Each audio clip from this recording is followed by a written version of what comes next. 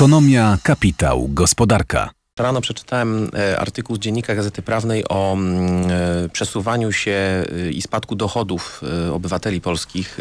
Jest A. bardzo... Ja tak, dość tak, tak. zwracam uwagę na te Polska bieda piszczy coraz głośniej, o tym chcę pan tak, powiedzieć, tak? tak? W tak, ubiegłym tak. roku po raz pierwszy od sześciu lat przybyło w naszym kraju rodzin w niezwykle trudnej sytuacji materialnej.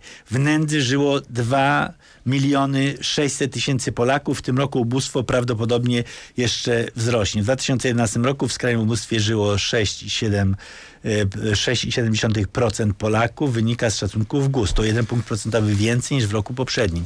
I co ważne, ekstremalnej biedy przybyło po pięciu latach jej spadku. Tak. I dla mnie, ja, ja dość e, staram się interesować te, e, tymi statystykami e, o, o, o biedzie, tym bardziej, że miałem tutaj u Państwa taką dyskusję na ten temat kiedyś dość burzliwą z redaktorem Gogowskim. Um, dlatego, że oczywiście statystyki nie są zawsze, zawsze zafałszowują pewien obraz. To, co tu mnie szczególnie zaniepokoiło... Znaczy, może nie zafałszują, statystyki są statystykami, nie, nie, nie, ale one nie oddają w pełni odczucia. O, o, dokładnie tak. są, są odczucia. Tak, tak, tak, dokładnie są odczucia, a czym nie są statystyki. Ale, ale, jest, ale tutaj jest niepokojąca jedna rzecz, że ta statystyka gusowska pokazuje, jak bardzo skoncentrowane są obszary, na których ta bieda rośnie, bo wiąże, i to jest prawda, że czego się jakby, dopóki się tego nie przeczyta, nie ma się świadomości w pewnym sensie, że bieda cofała się w obszarach wiejskich przez dopłaty.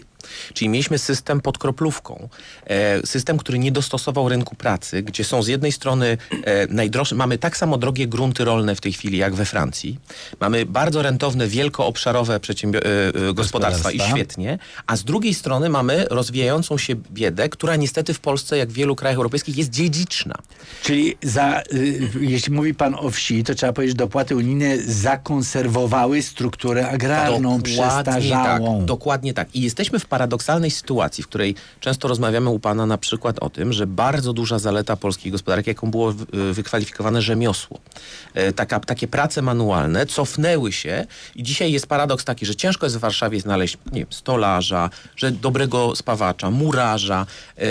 Takie prace, które, które nie mają nic w sobie niegodnego, a są potrzebne i gdzie... Żadna praca, proszę Nie, nie, ale ja mówię, ja mówię, chodzi o percepcję społeczną. Proszę tego nie rozumieć. podejścia. Nie, nie, nie, chodzi o percepcję, chodzi o percepcję społeczną. E, chodzi o percepcję społeczną. Ja no już nie chcę cytować anegdot, ale to, to nieistotne, jak tam ludzie postrzegają zupełnie błędnie niektóre prace. Na przykład bardzo potrzebne prace domowe, bardzo potrzebne prace opiekunek, że to jest jakaś dewal, dewaluacja, a to de facto nie jest. W społeczeństwach bogatszych to są... Pan ma zawod... strasznie zbolszewizowaną świadomość. Nie, nie, nie zbolszewizowaną, nie, nie, tylko tak, jakby e, nie chcę być źle zrozumianym, bo już raz zostałem źle zrozumiany.